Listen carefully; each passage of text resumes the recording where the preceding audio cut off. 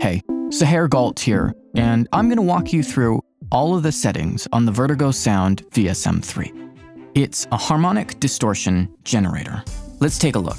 Okay, over here is your input trim, controlling how much of the overall signal is getting fed to VSM3. And here's the global bypass. This is the module that generates even harmonics, emulating a Class A triode tube. If you don't want this stage, bypass it here. Drive is how much of the signal goes into the distortion stage.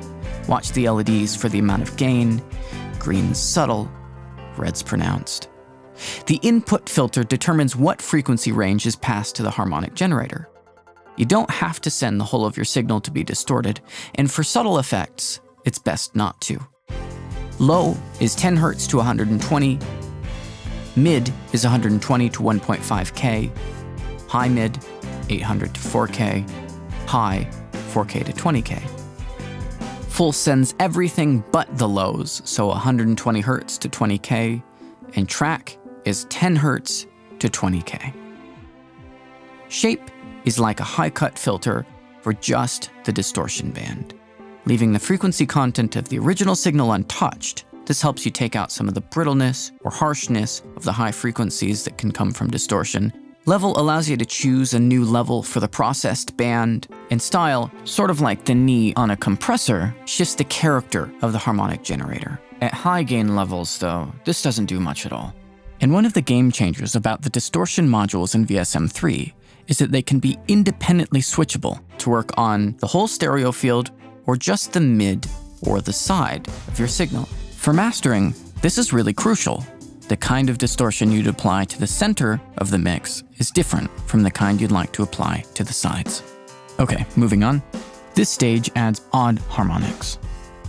And it's a brighter, grittier sounding module. Now, all of the controls are the same as the other side. But it's worth saying that since we have two stages, we have the ability to make the two distortion units work in parallel. And the blend between harmonic types can be controlled with the THD mixer.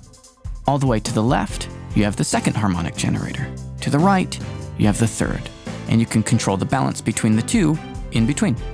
In serial mode, though, the THD mixer is just bypassed. The second harmonic stage is passed on to the third harmonic stage, and in most cases, actually, you'll probably end up just using serial mode. The monitoring is very intelligent.